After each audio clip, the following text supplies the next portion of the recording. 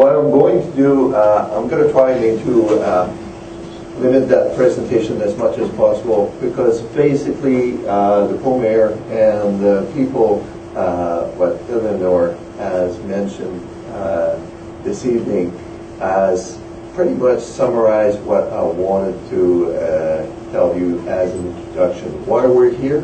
Um, well, uh, there were different communities in uh, the Atlantic provinces that made a proposal. And the proposal that was coming from uh, Rick, where is Rick? Oh, he's over there, Rick McCready, uh, was uh, looked at with all the other proposals that we received from other communities.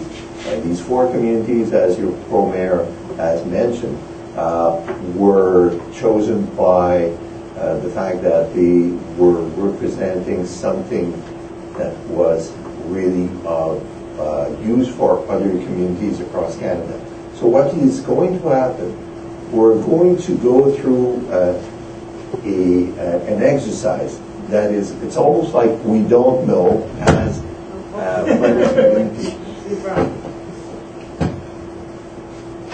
Do you hear me the way, okay. So we don't know, man, as a planning community, how to deal with that big beast that we call climate change, uh, usually speaking, because uh, people are talking about it, uh, scientists are talking about it, and everybody is saying, we have to do something, we have to act with climate change. And in the end, we're saying, okay, that's kind of fine and dandy, but how? So uh, the Canadian Institute of Planners, what they did, they went to uh, natural resources and they, had, they asked them, uh, could we have some funding in order me to figure out how we can approach climate change in a community?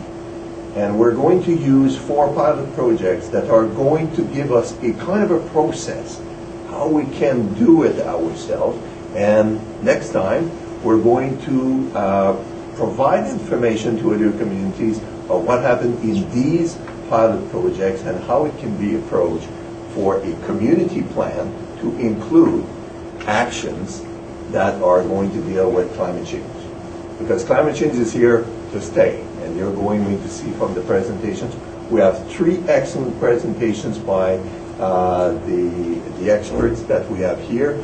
Kyle, uh, where is Kyle? oh, he's there. Oh, I'm sorry, Kyle. Kyle uh, is going to represent the people from the province, uh, and he's going to make a, a presentation that is more an overview.